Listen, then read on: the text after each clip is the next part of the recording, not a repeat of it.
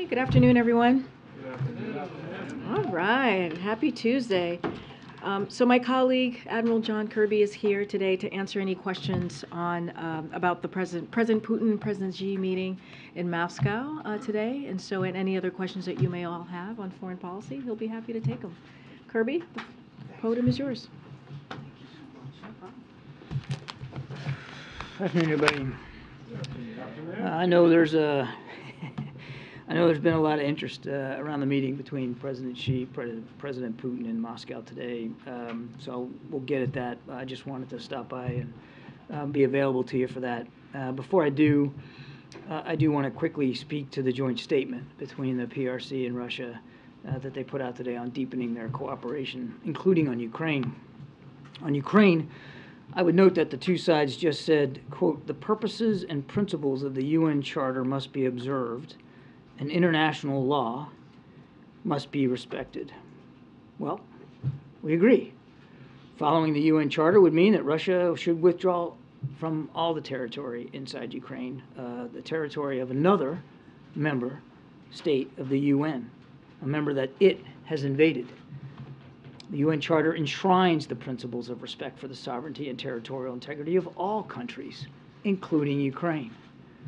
Now, they also said, quote, parties, the parties call for the cessation of all steps that contribute to escalation of tension and the prolongation of hostilities. We agree. One way to stop the hostilities is to pull Russian troops out of Ukraine, but short of that, Mr. Putin could stop bombing hospitals. He could stop bombing schools. He could stop launching Iranian drones into civilian infrastructure. He could stop the forcible deportation of young kids, thousands of them, putting them in filtration camps inside other places inside Ukraine, but also inside Russia. Um, and he could stop reducing cities like Bakhmut to bricks, to piles of bricks. That is a way to stop the prolongation of hostilities. So now, if China wants to play a constructive role here in this conflict, then they ought to press Russia to pull its troops out of Ukraine and Ukrainian sovereign territory. They should urge, urge President Putin to cease bombing cities, hospitals, and schools, to stop the war crimes and the atrocities, and end the war today. It could happen right now. Now, with that, I'll take some questions. The, uh, the, the statement also says the Russian side speaks positively of China's objective and impartial position on the Ukraine issue. Do you see China as having an impartial position on this? No, we don't. How do you interpret this statement? Well, I- certainly, I'm, I'm not going to do a book review on their statement. They can do that. Uh, they can sp- speak to their words.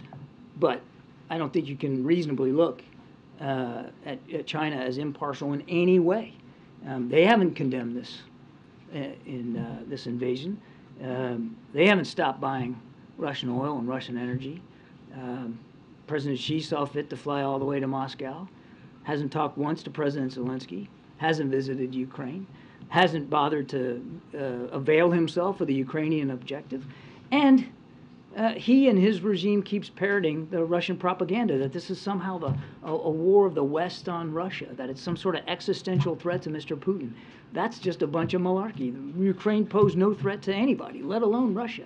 So no, it, it, it can't be seen that, that Russia's impartial. Now look, um, if uh, if he's uh, willing to talk to President Zelensky um, and willing to get the other side, um, and, uh, and we, you know, if if any future potential negotiation can incorporate uh, Ukrainian views and perspectives uh, and can be achieved and and and uh, pursued with Ukraine, as, as President Biden has said, nothing about Ukraine without Ukraine. If, if that's the direction, then that's something that uh, that could be seen as as uh, as impartial. But I just don't think right now that they can be seen that way. And lastly, are we watching a budding alliance between China and Russia here?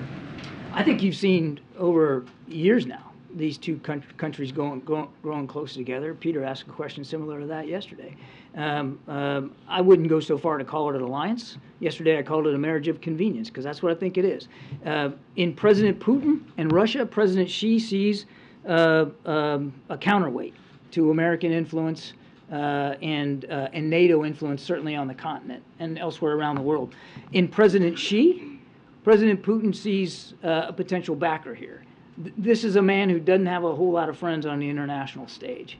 They can count them on one hand mostly. And he really needs and wants President Xi's support for what he's trying to do because he's running through, he's blowing through inventory, he's blowing through manpower. His military is getting embarrassed constantly. They've lost greater than 50% of the territory that they took in the first few months of this war. He needs help from President Xi, and that's what this visit was all about. Now, whether it results in anything, we'll see. Go ahead, Angela. John, uh, two questions for you. Is the U.S. aware if there has now been an official request from Putin to Xi for lethal aid to be used in Ukraine? I can only go by what we've seen them say today, um, uh, which, which obviously was not part of their, uh, at least part of the readout and part of the statements they put out today. I would tell you what I said yesterday remains true. We don't think that China's taken it off the table, but they haven't moved in, in that direction. We've seen no indication that they're about to or uh, or fixing to, to provide lethal weapons. Um, and my second question, um, the president considers Vladimir Putin to be a war criminal. I'm just wondering what it means to President Biden that Putin calls Xi Jinping a friend. I don't think we're uh, overly uh, exercised about uh, uh, that comment. I mean, these are, it wasn't that long ago, MJ, where they were talking about a relationship without limits, right? Partnership without limits. Uh, So we're not going to get all hot and bothered about the use of friends. What, what we've seen is, these are two countries that are growing closer together, um, that see in each other uh, useful purposes for pushing back, as I said yesterday, for chafing and bristling um, at uh, a, a rules-based order around the world. They want to change the rules of that game. In fact, they would love nothing better, both countries, to, to see uh, uh, the, rest of the world play by their rules. Uh, rather than the ones that uh, that are enshrined in the UN Charter and what everybody else is uh, is following. Um, so that's what's going on here. Just, John, to clarify one thing, this is what Steve asked you, it is regarding the statement, the Russian side speaks positively of China's objective and impartial position on the Ukraine issue. It is the view of this government that China is no longer impartial or is not impartial when it We comes never to said we never said China was an impartial participant here. Does that, and does this statement, does this meeting improve or make it more difficult for President Biden to ever meet again with President Xi, at least anytime soon? President to Biden- this and other issues? The president wants to keep the lines of communication open with China. Nothing's changed about that. And as I said yesterday, at the appropriate time, uh, we'll pursue another conversation with President Xi. And in a semi-related matter, the president of Taiwan has now announced their plans to come uh, to the United States briefly and then head to Central America. Are there any plans for any U.S. officials to meet with the president of Taiwan when they're in the United States? This is, as you know, these are called transits, uh, not uncommon. Uh, President Tsai has uh, done it six times. Um, every single Taiwan president in uh, recent memory has done this. Um, it is unofficial and personal in nature in terms of travel. Uh, so we would let them speak to their agenda, to uh, uh, to uh, who uh, they want to meet with, and and and, on what timeline. It is not uncommon for in previous transits uh, for there to be discussions with uh, with U.S. officials and with members of Congress. But again, I'm not going to get ahead. This is really for uh, uh, Taiwan to speak to. So maybe. This is for Taiwan to speak to. Go, John. Uh, Thank you, Karine. Thank you, Admiral. Uh, On the idea of Russia seeking weapons and munitions, can you give us an assessment right now as to where things stand in terms of their weapons stockpile, Russia's weapons stockpile? And what sort of help are they getting at this moment from places like Iran and North Korea? Well, we know that they um, have a burgeoning defense relationship with Iran. Uh, we already know that they Iran has provided several hundred drones, um, and we have every reason to suspect that that sort of transaction will continue. I don't have any specific shipments to speak to today, but we know that this relationship, from a defense perspective, with those two countries is is getting uh, sharper. I came to the podium and talked about that, and that's a worry not just for the people of Ukraine, it's a worry for the people of the Middle East. Uh, and Iran that can avail itself of Russian military capabilities uh, would make it more lethal and more dangerous in, in the region. Um, uh, we did talk about the, the fact that we had evidence that uh, North Korea was shipping, at the very least, artillery shells to the Wagner Group. We still believe that uh, uh, that uh, that that occurred. Uh, I don't have any additional shipments of, of things to speak to, um, but again, I think it speaks volumes to your question about inventory, and I I couldn't give you a, rundown of Russian inventory on, on any given uh, type of system. but they have gone through thousands uh, of missiles and most likely millions uh, of artillery shells. Uh, they have lost uh, easily tens of thousands of, of troops uh, and, and probably north of 100,000 uh, in terms of killed and wounded. Um, so it, this has not been a fight Mr. Putin has had without cost to his country uh, and to his coffers. Um, and so he continually wants to reach out for more help uh, internationally. That's what we're seeing with Iran. What we saw with North Korea. And, and there's no question. Uh, that's what that's what we're seeing in his interest in talking to President Xi. Uh, but we know that this we know this war has had an effect on his inventory, and we also know, Jonathan, um, that the sanctions and export controls have had an effect on him, particularly when it comes to cruise missiles. That his ability to restock cruise missiles out of the inventory has been curtailed by the fact that he can't get those, some of the microelectronics because of the the economic steps that this administration has taken to, to kind of curb his war-making machine. So um, uh, this, this is a guy, you know, for all the ballyhoo going to uh, Mariupol, I mean, this is a guy who, who has to know uh, that his military is way underperforming um, and, and uh, overspending in terms of its ability, its, its resource ability. Thanks. Uh, I wanted to follow on Ed's last question. Uh, You guys have ob- obviously made this concerted effort to, ahead of the visit of the Taiwanese president, um, sort of downplay it as not uncommon, not intended as sort of a provocation. Not downplaying, it's true, it's not uncommon, they, they have happened before. It's not about downplaying, it's about being factual. All right. Well, there has been this sort of concerted effort, and I'm. My question is that if does that not sort of tacitly acknowledge concern within the administration that China may overreact, or I assume you think it was an overreaction to uh, this visit, and I was wondering if you can play out to some extent what that level of concern is and how the U.S. would react if we see. You know, a Pelosi redux in, in how they interpret this. There's no reason for China to overreact.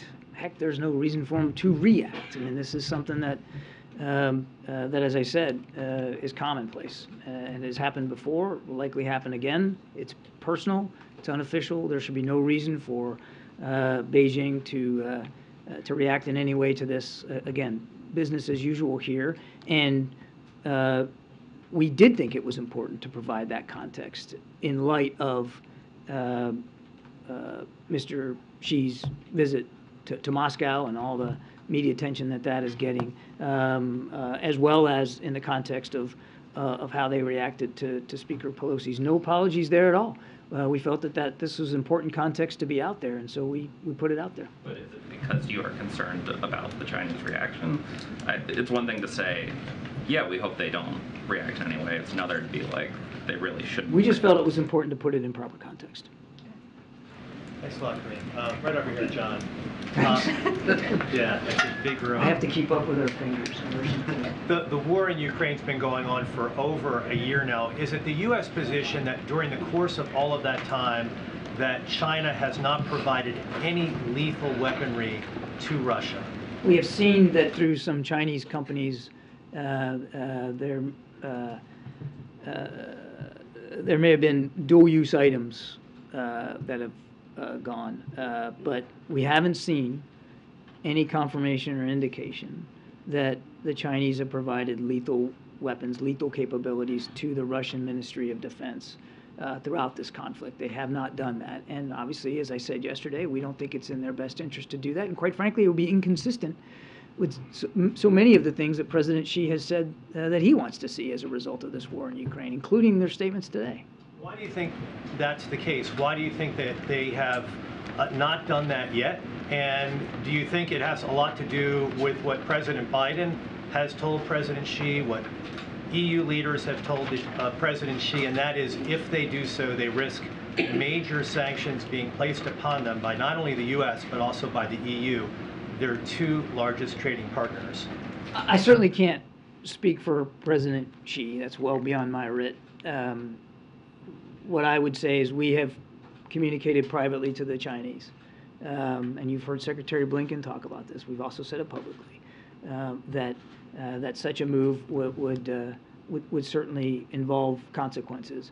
But more importantly, uh, we believe, and we've said this too, that that that, that this shouldn't be seen by the Chinese as something that's in their best interest to help Mr. Putin slaughter more innocent Ukrainians. To what's the word they use? The escalation of tension and prolongation of hostilities. Well, that's one way to do that. And uh, again, if if we're taking them at their word of what they want to see happen, it's hard to square the circle between that that statement and the provision of, of lethal weapons. So we don't believe it's in their best interest. Uh, a, a country like China that has a very powerful economy and um, and uh, and, and uh, does have uh, influence around the world to want to see that uh, that influence stained by helping Mr. Putin uh, murder more Ukrainians. Go ahead, Brian in the back. Thanks. Uh, John, I guess the, uh, over here. Thanks. Follow up to that question, is there any indication that the uh, visitation by Xi to uh, Putin could lead to a de-escalation? Have you all seen anything that, the statement that they put out about de-escalation, in fact, was a warning to Russia? We're still working our way through the language here, um, so I, I don't want to get into a, a deep analysis. But coming out of what we've seen today, we haven't seen anything that they've said they put forward um, that that gives us hope that this war is going to end anytime soon. As a matter of fact, Mr. Putin said something to the effect today, or his spokesman Peskov, I think, said something to the effect today that that they're willing to negotiate, but it's the West and the Ukraine that is refusing, which of course is absolutely false. So I, we've seen no. Uh, I don't think the meeting today gives us great expectations that the war is going to end anytime soon. And then as a qu- quick follow-up to that, is there any indication that we would be willing to talk with, uh, or let me put it another way, is there any indication that Russia is showing any signs that they would back off at any point in time? Are they still, you know, guns blazing? No sign at all that Mr. Putin is changing his calculus. Thank you. John, uh, about the bill President Biden signed yesterday. He says he will declassify COVID origins intel except info that would harm national security. Is there a bigger national security threat than something that killed 1.1 million people? Yeah, In I've, this country? I've seen I've seen some of the commentary uh, on your network about this. Uh, the president obviously has to balance transparency with national security. Peter, of course he does. Um, right when coming into office, ordered the declassification of what the DNI had on COVID origins, ordered the entire intelligence community, and added the Department of Energy to that list. Uh, And where is it? hey, let me finish my If answer we're talking about the beginning of added the Department of. Energy and the National Labs, told them to keep studying it. Um, we have kept Congress informed. Some of that has to be in a classified way right now, but it's always a balance between the uh, the public's right to know, right, not need, but right, and our obligation to protect national security. So uh, one should not read into that statement that he's sort of laying a foundation here uh, to be overly secretive. He believes strongly that we've got to find the, the roots and the origins of COVID so that we can prevent a future pandemic. And through his actions, just judge him on what he's done. Through his actions, he's proven that he's willing to be as transparent as possible with the American people because he believes that's important. Then does the White House hope that the lab leak theory is not true? We don't have a hope one way or the other, Peter. What we want is the ground truth. Wherever that takes us, wherever the science takes you, wherever the facts takes you, President Biden wants to know so that he can help work with the scientific community to prevent a future pandemic. We're not there, there- there's no thumb on the scale here, Peter. It's not about uh, not wanting a certain outcome. We just want the best possible outcome that we can get. And just quickly about the meeting today, uh, the Xi Putin meeting. In November, when President Biden met with Xi, he said, I want to make sure that every country abides by the international rules of the road.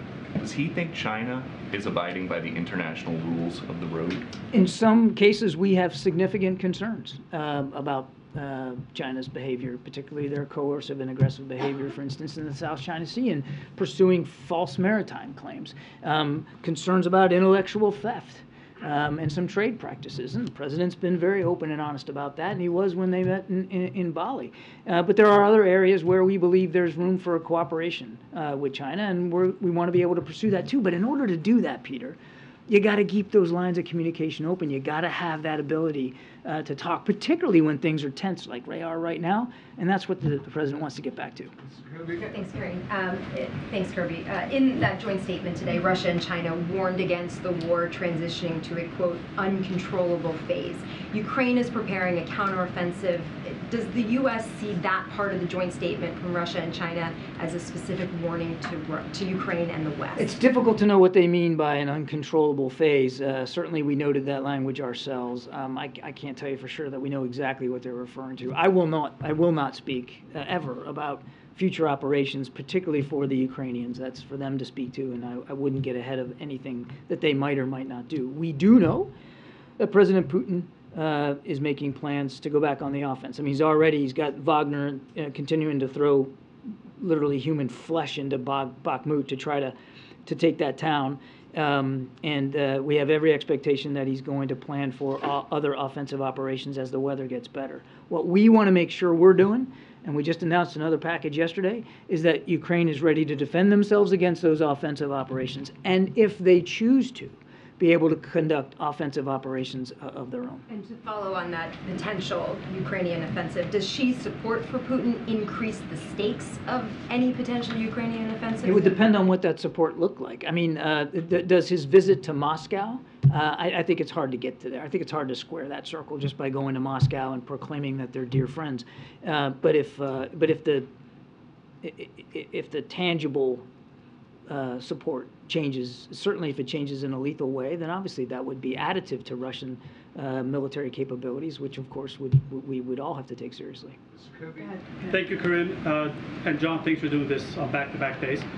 Um, today marks the 100th day of the eco-protests along the Lachin corridor in the Karabakh region between Armenia and Azerbaijan. So I've got two questions on that. First of all, um, what is the administration's position on the ongoing conflict?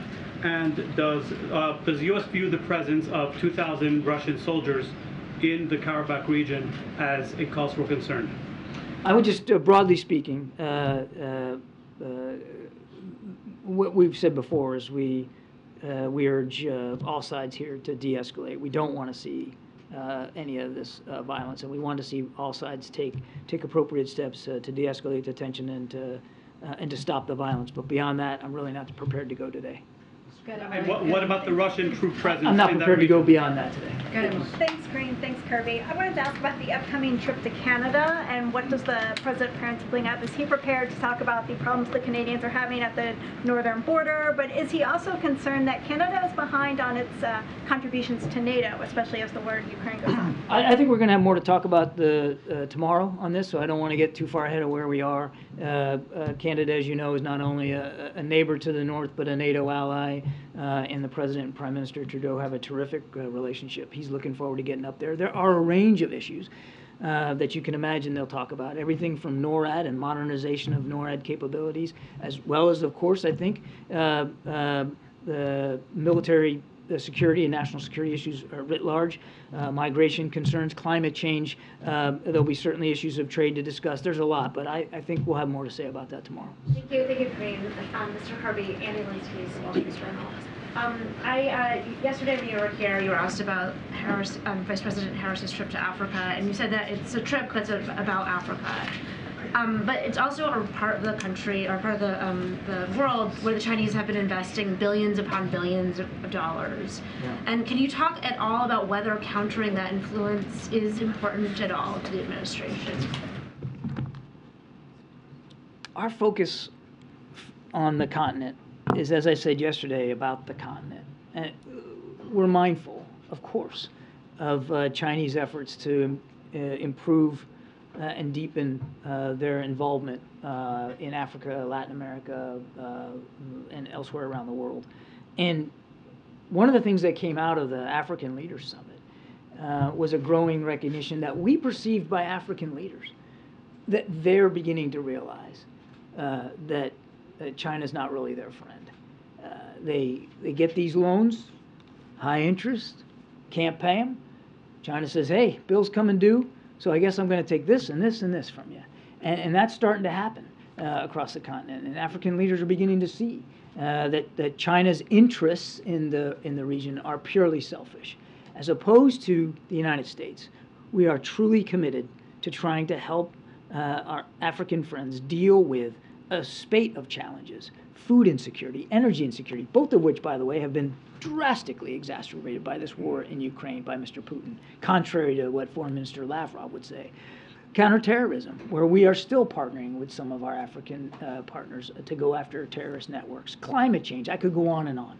Um, and that's why the president, coming out of that summit, assigned uh, Johnnie Carsons as the implementer. An implementer, a guy whose whole job is to go out and take all the things we talked about in the summit and make it true.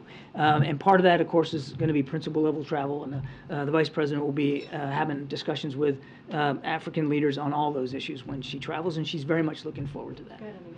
I have a follow-up on the African trip. Um, in countering China's influence on the continent, is the vice president going to take on some of the human rights issues that are present in Ghana and Tanzania and in Zambia?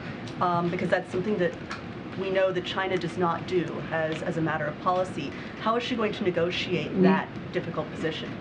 The vice president will, of course, raise uh, human rights concerns everywhere she goes. That's that's uh, a part and parcel of uh, of American leadership around the world. We're not afraid. In fact, it's a sign of of how much we care about other nations and partnerships uh, that we are able and willing to have those kinds of conversations. So, of course, of course, she will raise human rights concerns appropriately everywhere she goes. Publicly? That- I won't get ahead of the vice president's meetings or uh, how she's going to, to couch this, but of, of course, that's uh, part and parcel of every conversation that we have with foreign leaders around the world. It has to be. Follow up on something you just said about China's ability to be impartial. You just said if China can truly be impartial and Ukraine is on board for talks, uh, is that something that the U.S. would support if Ukraine were interested in China brokered talks? Nothing about Ukraine without Ukraine. If President Zelensky, if there's a path put forward that President Zelensky can get behind and that he believes uh, will help lead to a, a just peace, as he refers to it, uh, then he'll find no better friend in that effort than the United States. Big agree. Hi, John. 10 months, not a single Wait, hold a opportunity is given. That's- this is not how Mr. it Kirby, works. I've attended not- your dozen not- press conferences, is not not- one opportunity is given. This is given. not how it works, sir. This is not how it works. Go ahead. Hi, John. Uh, today, the Ugandan parliament uh, voted in favor of an anti-homosexuality bill um, and is set to host a summit uh, soon with other African nations on potentially passing other bills across the continent. Um, it's my understanding that Ambassador Thomas Greenfield uh, spoke to the Ugandan president about this bill. I, I, I asked this question because I, sources tell me that Russia uh, may be playing a major role in the influence of this larger anti-LGBTQ movement and is using it as a wedge between the U.S. and Africa. Uh, considering the U.S. is currently engaging with Africa on other issues, um, is this a concern for the U.S.? Oh, it, of course it is. I mean, and President Biden has been uh, nothing but consistent uh, about his uh, belief, foundational belief in, in human rights, and LGBTQ plus rights are human rights. Uh, and uh, we, again, back to the earlier question, are never going to shy away, be bashful about speaking up for those rights and for uh, uh, for individuals to live as they deem fit, as they want to live, and that's something that's a core part of our foreign policy, and it, and it will remain so. Go ahead in the back, go ahead. Uh, to follow up on, on what you said yesterday on the on Iraq on the anniversary, is there a message for the some of us who are actually there and remember to the families, the 4,000 men that lost their lives, the 35,000 injured, and the two two and a half million that served, and then second, uh, Japan is hosting the upcoming G7 in Hiroshima. Uh, the Japanese Prime Minister is currently in Ukraine. This is a big step for Japan. Um, are there some ways that Japan uh, Japan holds holds the largest number of U.S. military in the world, and as a partner, um, what role do you think they can play, especially with the upcoming summit, to be part of um, the partnership going forward? And then finally, uh, the Japanese are the biggest partner. They've never had an interview with the uh, president yet, so hopefully before the summit, if that can be worked out. Thank you. Maybe before the end of the briefing. Uh, I will defer to, uh, uh, to Karine on issues of interviews with the president. That's, that's, that, that's your job, not mine. Um, uh, uh, Look, on, on your second issue, uh, uh, I think you saw uh, Mr. Sullivan uh, put out a short tweet about this. Uh, We welcome uh, the Prime Minister's visit to Kyiv. It's another example uh, of just how strongly Japan is standing up with the rest of the international community to support Ukraine. Uh, and, and certainly as a close ally of, of the United States, we're very appreciative of all the things that Japan continues to do, not just in supporting Ukraine, but in uh, promoting security and stability in the Indo-Pacific. I mean, they have rewritten their national security strategy. They have taken uh, a more assertive role in terms of uh, uh, se- uh, security operations, uh, and all that's all that's to the good, and we're very grateful for that. On OIF, I don't know that I have more than I can say th- than than yesterday. For some some of you, I'm sure maybe covered the war and um, saw m- more of, of combat than than you probably care to remember. And of course, we know, as I said yesterday, so many families here in the United States are still living with the war. The war is not over for them, uh, and we all need to we all need to keep that in mind. Thank you. Um, I also- I also have an African question. President Putin said that he will write off uh, debt for African countries of over 20 billion dollars, which is a substantial amount of money. And he said that Russia will meet its commitment to provide them with food supply and energy, etc.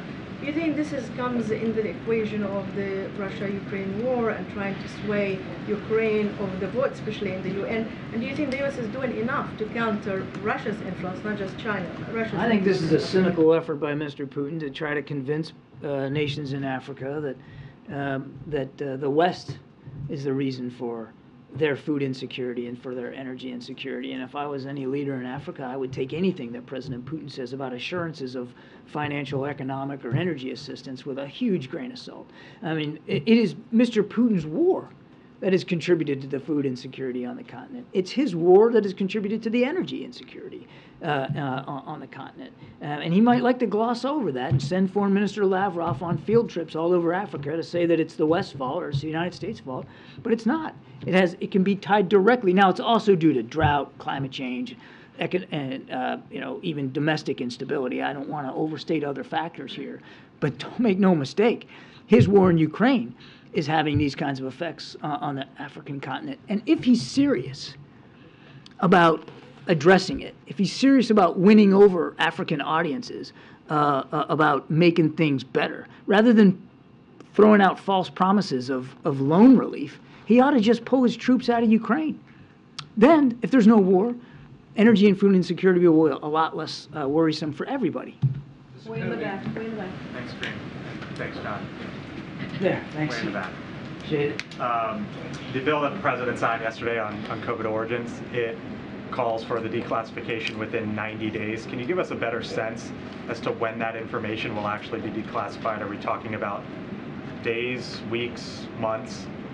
I, I can't give you a date certain right now. Uh, I mean, he just signed this yesterday. We're mindful of what the legislation says in terms of the 90-day time timeframe.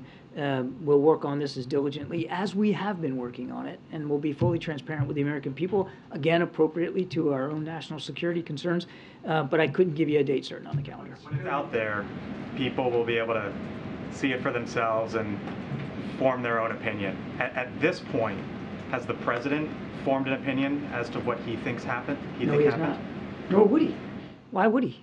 He wouldn't form an opinion before uh, he has access to, uh, you know, m- more and more intelligence about about what happened. I'll tell you what he has formed an opinion on, and that is that it's important uh, that we get to the roots of it so that we can prevent another pandemic, and that um, that scientific research labs who do important work um, also know that they need to be as accountable and transparent as they can be uh, with the research that they're conducting. That he has formed a strong opinion on, but he's made no conclusions, nor would he until uh, until more information is available. Oh, wait in the back. In the back. I'm a journalist. Thank you, Admiral. Appreciate it. In the back here. Thank you. I'd like, if I may. Did not ignore me once when he was in the State Department. Okay, if I may turn your attention to Nicaragua, sir. Uh, don't mean to. Nicaragua.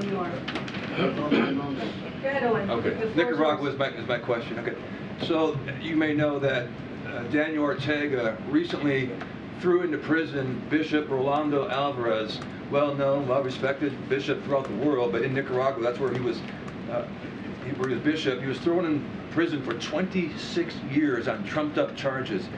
The question one, are you aware of any efforts the U.S. is making to free Rolando Alvarez? I'm gonna, I'm gonna have to take the question and, and get back to you, sir. I'm not tracking that particular case. Would you have, would the Biden administration have any message for the Ortega regime that continues to persecute Catholics in that country? We have been uh, uh, clear and consistent with nations all over the world about the uh, the importance of religious freedom and proper human rights and civil rights uh, for not only uh, their citizens but certainly for ours as they travel abroad. But I don't have any more specific on that. Okay, two more. SV Wade and- Yeah, thanks. Uh, Admiral, uh, you, you talked about how Russia's forces are going through ammunition, going through personnel. We, we've seen reports about them um, increasing the, the draft to get more soldiers.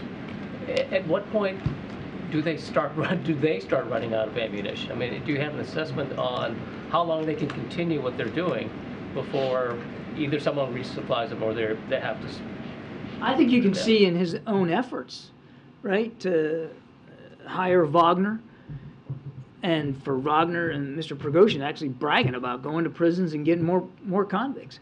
I think you can see it in what they're doing in Bakhmut.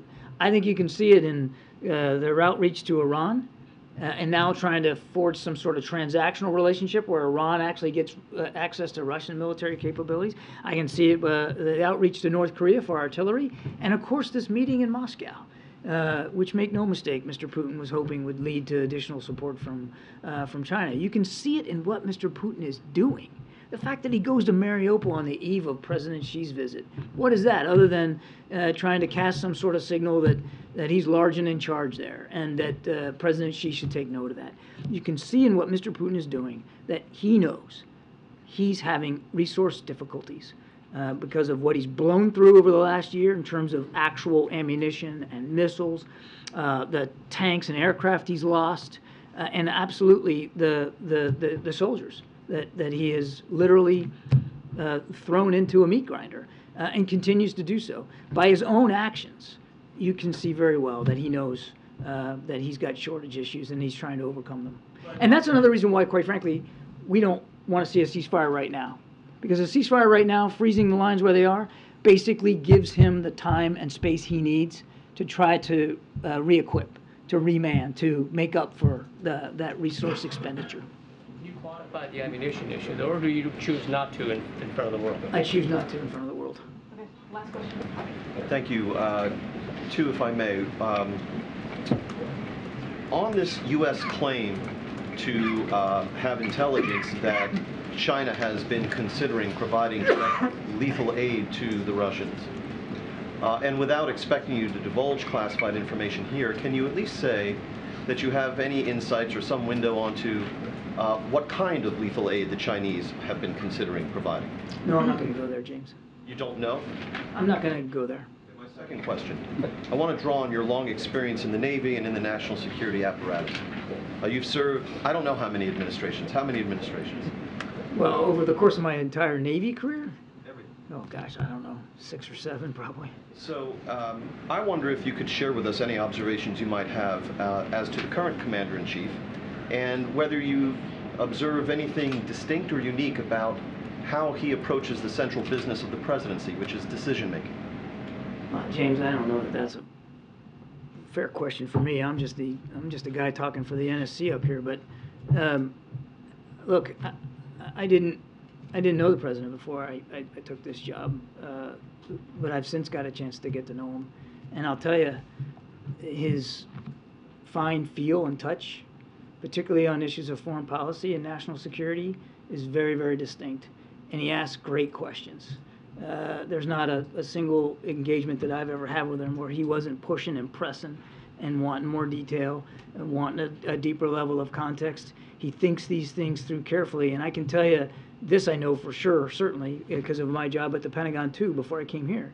Uh, that when it comes to putting America's men and women in uniform in harm's way, you won't find a, a- another commander in chief who thinks more carefully, deliberately, uh, and consciously uh, about that than President Biden.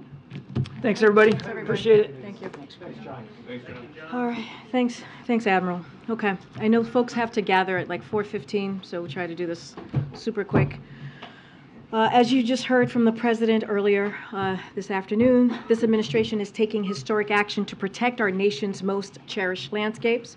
Today, President Biden established two new national monuments, the Avi Kwa Ame National Monument in Nevada, also known as the Spirit Mountain, and the Castner Range National Mountain in Texas. Monument, pardon me, monument in Texas.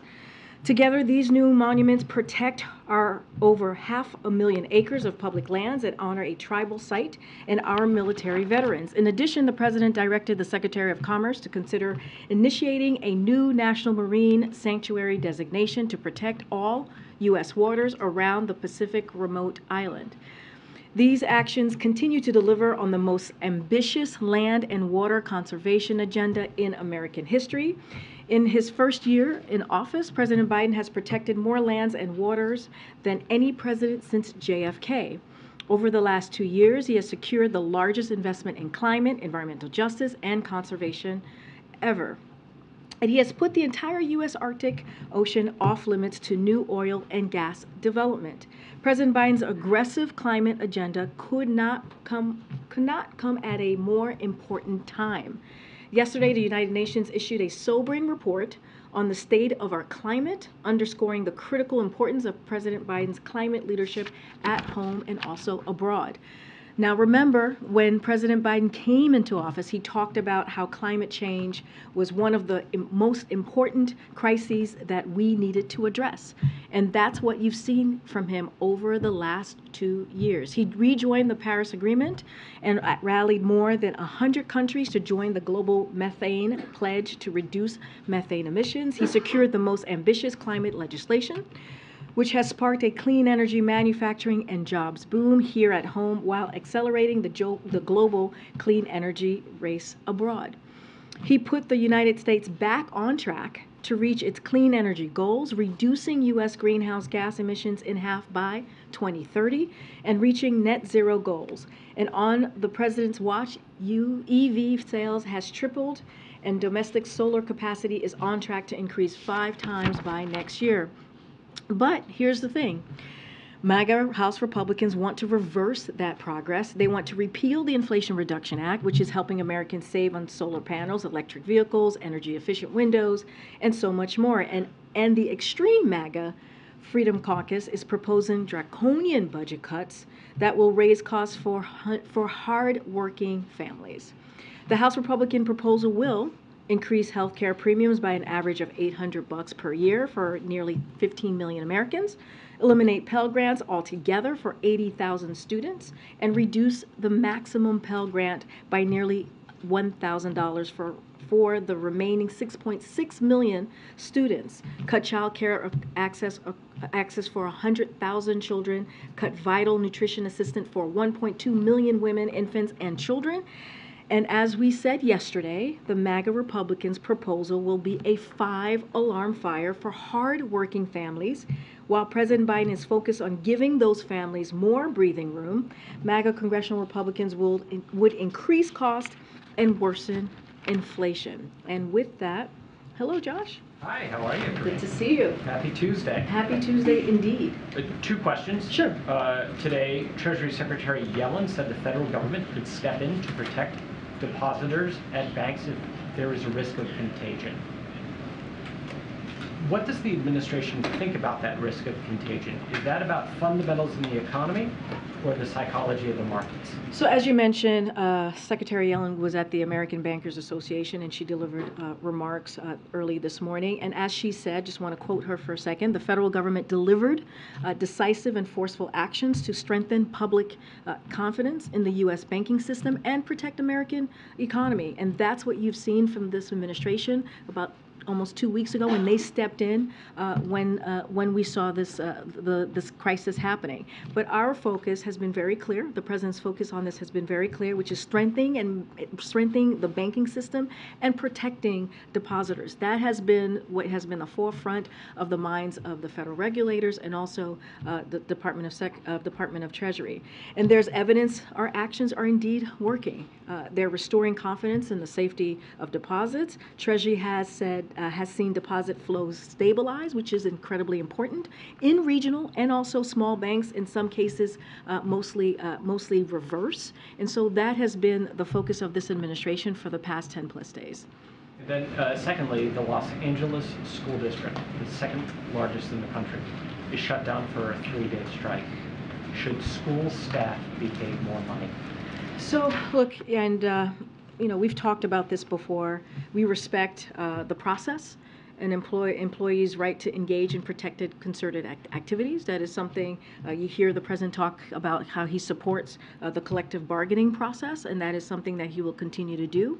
Uh, we urge both sides uh, to work in good faith toward a mutually acceptable solution so that there can be uh, a quick resolution and the kids and school employees uh, can get back to where they want to be, which is in schools, especially the kids. And we, the president, as you've heard him say, this is incredibly important to him, making sure that kids uh, get uh, uh, go back to school and get their education.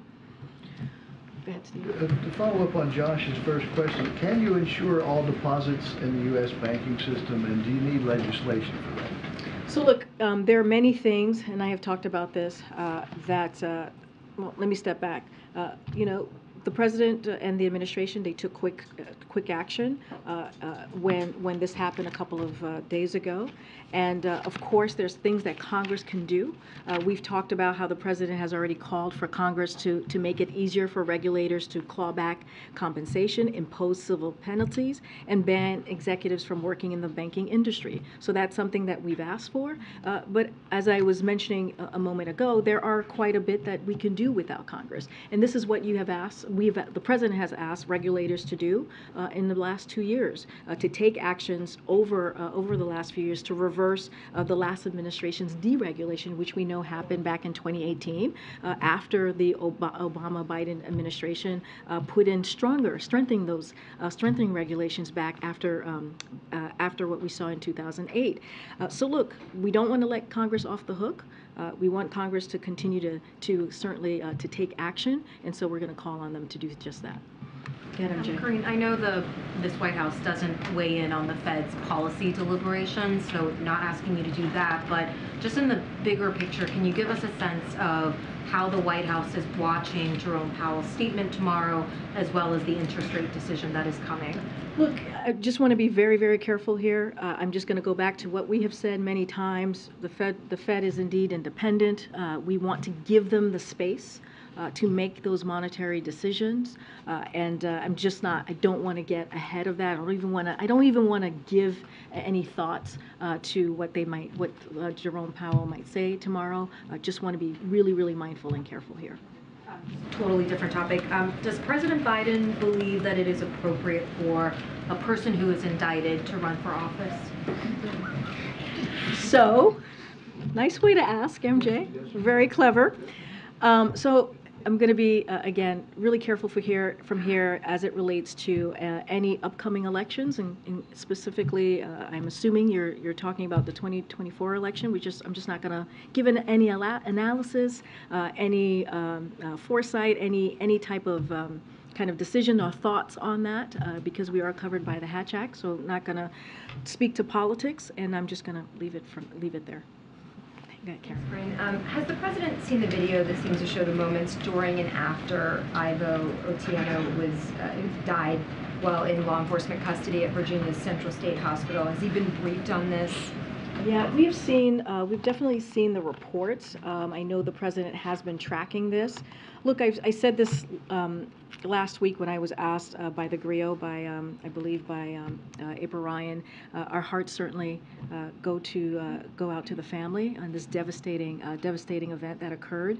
Uh, the president is indeed. He saw the reports. Uh, we've been uh, paying attention to the reports. We're just going to be incredibly mindful uh, on speaking on this as there's a uh, current investigation. And has he been in touch with the Otieno family? I, I don't have a, a call. We don't have a call to preview or to speak to at this time, but clearly, um, uh, this is, uh, it was devastating, again, what we saw, and our hearts go out to the family. Ahead, Justin. Uh, thanks. I just wanted to follow up on Steve's question. Um, and in your answer, you highlighted the president's past actions, said Congress shouldn't be off the hook, but you today and yesterday avoided talking about what, if any, unilateral actions that the president considering going forward to sort of stabilize financial system, and I'm wondering what the strategy is there, especially after we saw the sort of robust response a little over a week ago. Is it because you think the crisis is over, that you're worried that talking about what you're talking about could could fuel the panic? Is it that you want to set a precedent ahead of the debt ceiling fight of not really entertaining unorthodox solutions? Is it com- a combination of those th- three So, things? no, totally understand the question. Look, when it comes to specifics about the debt ceiling and, and, um, and all of those things, that's something that Treasury certainly, and the- the Secretary has spoken to this uh, many times. I would say that, um, and, and I'll quote her here, uh, the actions we have taken, uh, this is from the Secretary, uh, to protect depositors and the stability of the banking system have not affected the X date uh, for the debt limit. So just want to reiterate that from, uh, from the Secretary. Um, Look, you know, as, as it, you know, if we're worried about unorthodox um, uh, interventions, no, we're not. We're going to use uh, every tool that we have to make sure that the American people uh, have the confidence. That's what we've been uh, trying to work through these last uh, almost two weeks, is that making sure that they feel that their deposits will be safe and will be uh, there when they need it. And that's what's important in the actions and what the president has asked the regulators to do and also the, the Treasury Department to do. So it's fair to say that those conversations are ongoing, but but you don't necessarily want to detail them because of con- of Well, I mean, this is something that lives in the Treasury uh, Department. This is something that they have been tasked with uh, as it relates to dealing with this issue that we have seen. Uh, That's, that's the directive uh, that the president has given the secretary and the regulators. So that lives there. So that's something that I would, uh, that's why I'm referring you to them. But we are going to do everything that we can to use the tools that are given to us uh, to make sure that, again, that the American people feel confidence, and they should, right? That's kind of what you heard from the secretary uh, today, that we see a stabilizing, that the banking, the banking system is resilient, and a lot of that is because of the work uh, that this president has done. I know you've you've you've mentioned the current things that he's doing, but let's not forget uh, what occurred in the Obama-Biden uh, administration and how we they were able to strengthen that uh, the regulations, and so that work will continue. Uh, and but again, we can't lift Congress off the hook. Uh, they have to take some actions as well. Yeah. Thank you. No, go ahead. Uh, go ahead. Yes. Uh, We know that Chicago, Atlanta, and New York City are in the running for the Democratic Convention, and ultimately, the decision is up to President Biden. Uh, What are the factors he's looking for, and will the whole city be announced before the president makes his second term announcement official, or is the timing not related? Okay, so first, let me say on the, let me answer your, your last question first, which is the president has said many times that he intends to run. I'm not going to go beyond that. Uh, that is uh, for the president to decide clearly. And look, that question that you just asked me is a is a political question that, that lives with um, with the DNC, the, Ne- the Democratic National Committee. So that I would refer you to uh, to them. Uh, but you know, all of all, all of us are probably tracking that a decision hasn't made, been made on that front. Uh, again, that's for the DNC to decide. Uh, but just like uh, many of you, all of you here, we will all find out at the same time uh, which city uh, gets chosen. I just can't speak to this to that from here. I'm asking about the DNC. Oh, okay. I was asking because the DNC does the vetting and the Yep. site selection, but then they give a recommendation to the president, who is the decider, just like when the primary happened, the news came out from him. So that's why I'm asking you a little bit more how this may work out. Well, the president is the leader of the Democratic Party, but from here, I cannot talk about politics, so that's why I'm referring you to the DNC. Uh, Go ahead, Alex. Um, uh, San Francisco just held a hearing on uh, reparations for you know, decades of, of institutional um, racism, and um, you know other cities and states are considering uh, you know impaneling similar commissions. DC is one of them. Where does this administration stand on reparations for um, slavery and segregation and similar uh, historic wrongs, uh, specifically pertaining to Black Americans?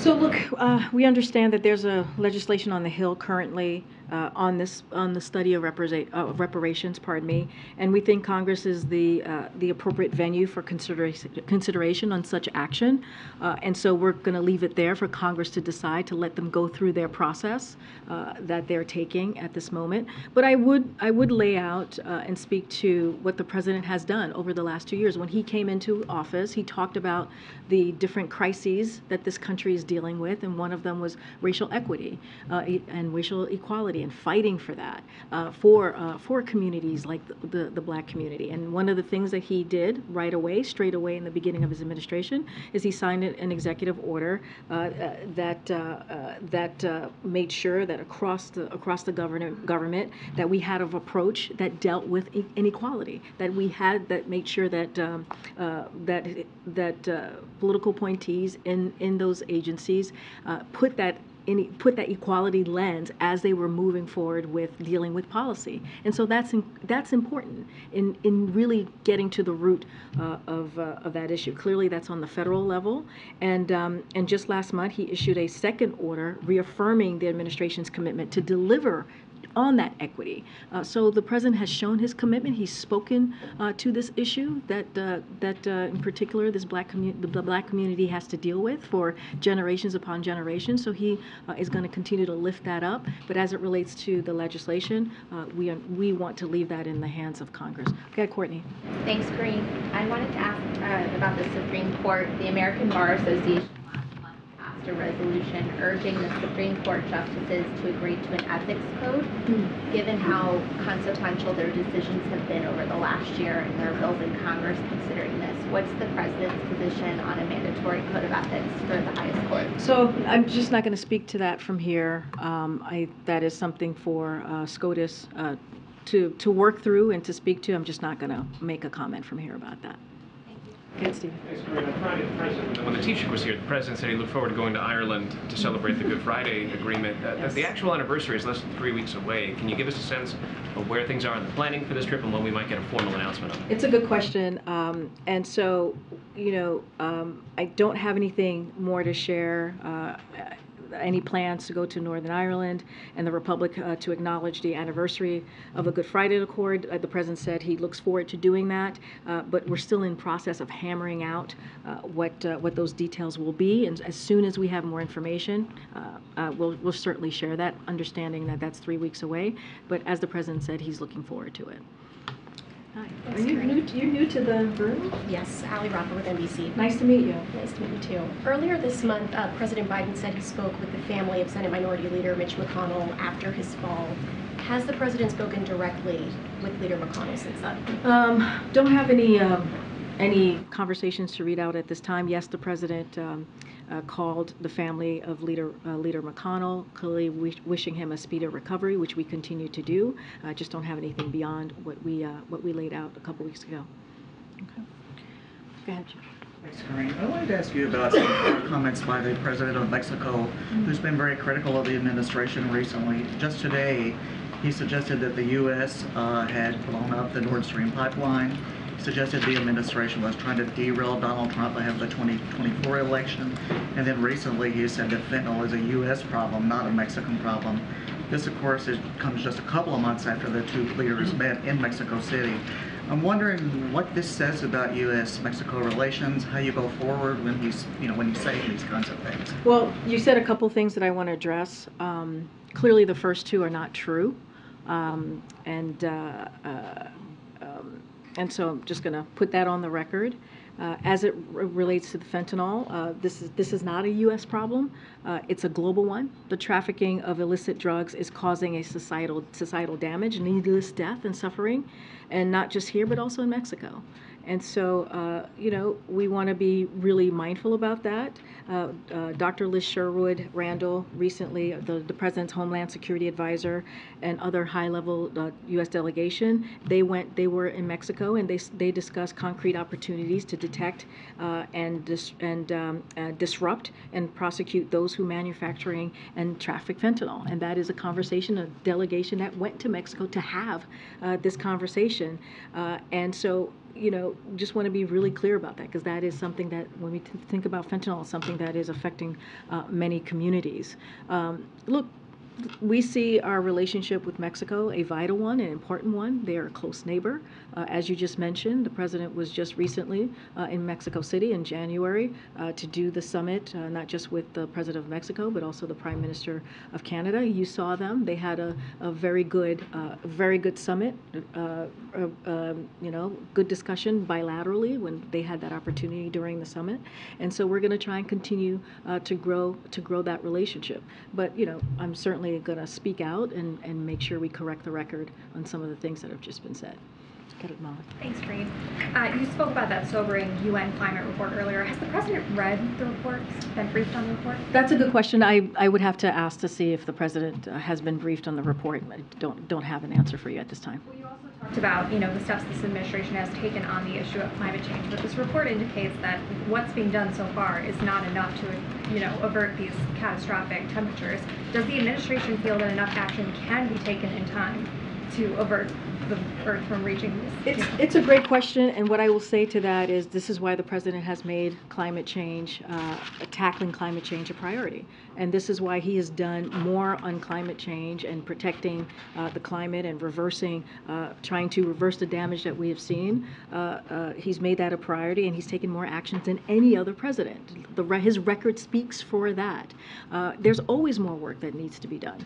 Uh, and so the president's going to continue to focus on, on all the things that we can do to deal with this issue. And at the top, I laid out uh, the different, uh, the different, um, uh, the different actions the president has taken, uh, and clearly uh, we're going to continue to to move forward. But again, yes, does more work to be, need to be done? Absolutely, and that's why the president has made this a priority. One of the crises that he mentioned, one of the four crises that he mentioned when he walked into this administration, and took action right away. And so that's going to continue. He's never going to back down. I have to wrap. Okay, last question. Uh, on the climate announcements today, Nevada Governor Joe Lombardo put out a statement saying that they were not consulted on the Avi Kwa Ame site uh, and that he opposes it being designated as a national monument. Um, it, did the White House consult the governor, and if not, why not?